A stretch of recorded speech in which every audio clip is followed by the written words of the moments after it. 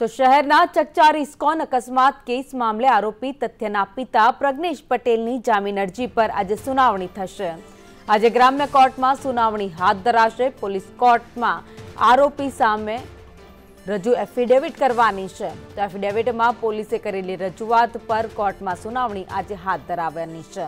તો બચાવ પક્ષ દ્વારા પોતાની રજૂઆત કરાશે. પોતે નિર્દોષ અને કેસમાં તપાસમાં સહકાર આપવાની રજૂઆત કરશે. તો પ્રજ્ઞેશે અરજીમાં કહ્યું છે કે અગિયાર વાગે ગ્રામ્ય કોર્ટમાં સુનાવણી થવાની છે. તેમાં પ્રજ્ઞેશનું કહેવું છે કે તે સહકાર પણ આપવાનો છે. તે રજૂઆત કરશે. રજૂ એફિડેવિટ કરવાની છે. તો એફિડેવિટમાં પોલીસે કરેલી રજૂઆત પર કોર્ટમાં સુનાવણી આજે હાથ ધરાવવાની છે. તો બચાવ પક્ષ દ્વારા પોતાની રજૂઆત કરાશે. પોતે નિર્દોષ અને કેસમાં તપાસમાં સહકાર આપવાની રજૂઆત કરશે.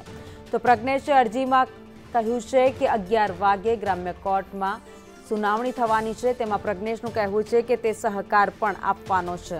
તે રજૂઆત કરશે.